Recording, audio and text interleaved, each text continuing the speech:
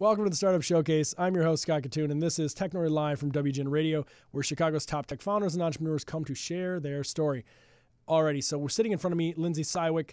I got it out quick, right? Yes. Yes, I got it right. I got a name right. And I got it out really quick so I didn't lose anything. Uh, you are the executive director at My Favorite Outfit. Yes. This is a unique uh, thing, I think. I think there's a lot of companies, particularly in fashion, that are working in the, uh, I guess we'd say, uh, working in the, there's a, I guess they're mission driven, put it that Yeah. way. Lots of mission driven.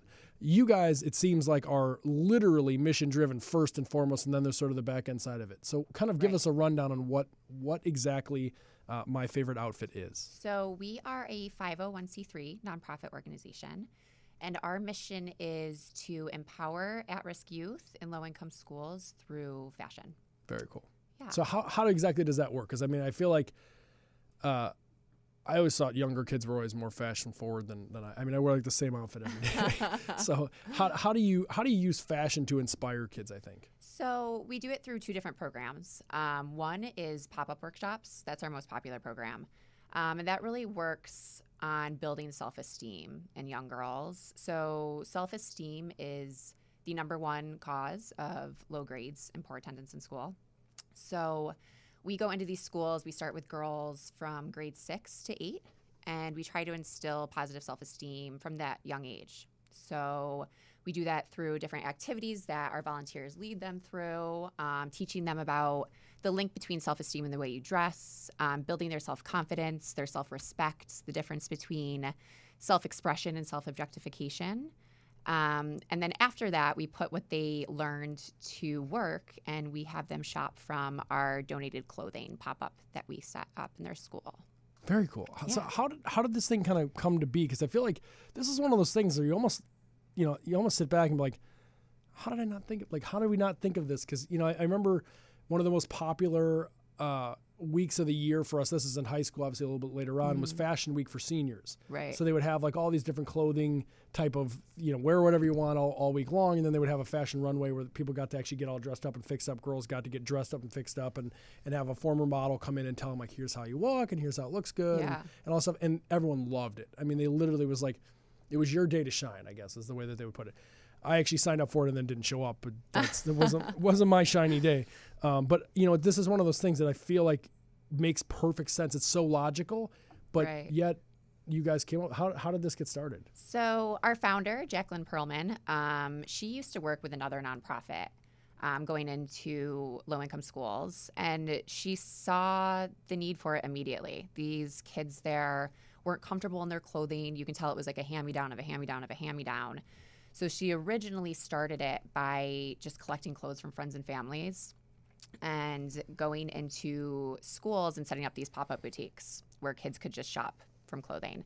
Um, and then the more research that was done and the link between self esteem and low grades um, and poor graduation rates and student and college enrollment amongst these students, um, we saw the need to build upon it and just to really advance the curriculum and make more of an impact with these girls. How would you say you're seeing? I mean, obviously you mentioned the grades and things like that, but Right. how how are you seeing you know real time reaction from kids? What has the reaction been?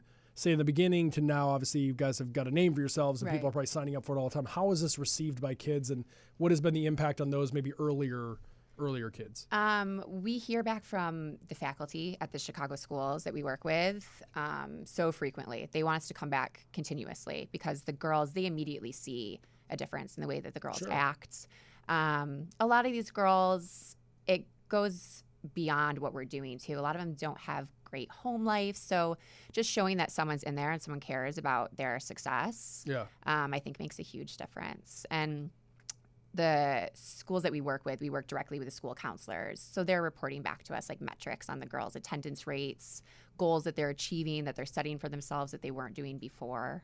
Um, so we see immediate results, cool. even from just the two hours that we're in these pop ups with them. So as this grows, are you guys planning to go to different cities, or are you planning on just doubling down here in Chicago and maybe coming with other sort of other iterations of this? Like what? How how do you make this even a bigger? How do you make an even bigger impact with what is, in my opinion, like a really great idea, a really simple idea? So we're doing a few things. Um, locally here in Chicago, we're currently piloting a Fashion 101 program at Evanston High School.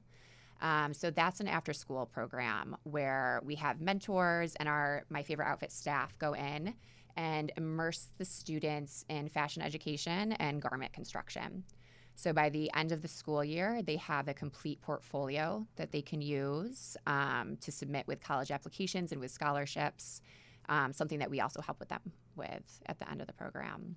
I see like also a, a lot of selfie stick usage like must go up as well. The girls are now walking around with their cameras they want and things. yeah. I mean, yeah. that- that's just the annoying. That's that's the one byproduct that everyone's like, "Rah, this Yeah. isn't really good." I mean, with with good self esteem comes a selfie stick. I feel like yeah, I, it guess there's a in hand. correlation there. there has to be. There, yeah. See, I have no selfie stick. I'm just like running around. I don't have a selfie stick. I refuse to do photos. My girlfriend hates it. She's like, "We're gonna do a picture." I'm like, "Nah, "No pictures." Um, it's weird, and I just took this off on a strange tangent. It's but fine. anyway, uh, this is such a cool thing. So, how long have you personally been involved in this, and sort of what do you think is your like big tie to this? How do you emotionally tie out to this? What's the connection? So I've always been in the fashion industry throughout my professional career. Um, I went to FIT in New York City. I'm originally from New York, Oh, so okay. I recently moved to Chicago. Um, and I've always known that I wanted to take my background and my expertise and actually make a difference rather ju- than just getting my clients placed in magazines and the typical day to day that I do in the fashion industry. Um, there's such a stigma attached to the fashion industry that it instills low self esteem in young girls because of the pressures that that come along with it. Um, so I want to reverse that stigma. I was gonna say that you know I didn't want to like go down. I was gonna let you take us down that road. Uh, no, seriously, because there is there is a, a huge correlation I think between what you see in the magazine and what you get in the children's face that they see that they don't look, or even adult women for that matter, or, or men too as well, Right. uh, where they don't look like they do in the magazine, and so I feel like I'm not doing a good enough job, and my self worth goes down and all this, and I feel like this is a really potentially a really good way to not only help them with their scholastic achievement, but also help them in self esteem and things, but also help them like center the universe and be like, listen, what you're going to see in the magazine is someone who's decided to dedicate their life to champagne and cigarettes. And look this, Right. you know, look this. way. That's a joke, sort of a knock on, knock on. No one, no one's laughing at my jokes today. This sucks. Um, now they're laughing. Uh, no, but seriously, it's it's it's a great opportunity to sort of set the record straight and be like, you know what, not everyone looks the same right. and and it's and I feel like that is one thing. So it's really cool to see someone who comes from the fashion industry to go back and say like, listen, I noticed this, and now we're going to try to do something about it. Yeah, that's part of the activities that we do with them too. We'll go through magazines with them throughout the workshop and really point out again the self-expression versus self-objectification, um, and not so much point out what girls look like, but how they look like they feel. Like, Yeah. does she look like she's dressing how she wants to? Um, does she look comfortable in her clothing? What does that look like? Just curiously, I, I just want to know. It's like maybe for my own personal selfish reasons, I want to know when when when like we use the girlfriend as an example. When she comes out and we're going to dinner, Yeah. what am I looking for to know that she's actually really pissed, other than her telling me?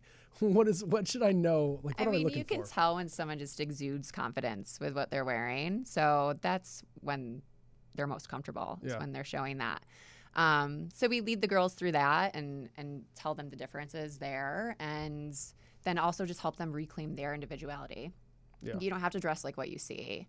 Um, so the shopping portion, that's what we're helping them with. Our volunteers, we call them the girls stylists, go and help them pick out an outfit that really fits their personality and describes who they are. And so that's why it's my favorite outfit because the girls all Yeah. get to leave in an outfit at the end of the day, That's pretty cool. plus more. They usually leave with bags of I was gonna say. I mean, not to make that joke, but I mean, let's be honest. You're gonna walk out of here. You're gonna walk out with bags of clothing. right? Might This is, well. I mean, it, it's is it discounted free? Is it like what's the? the clothing is free for the students. The program's free. Everything's awesome. free. So um, we work with a quite a few local stylists that when they do closet cleanses, they donate to us. We, We also charge for the bag though. No.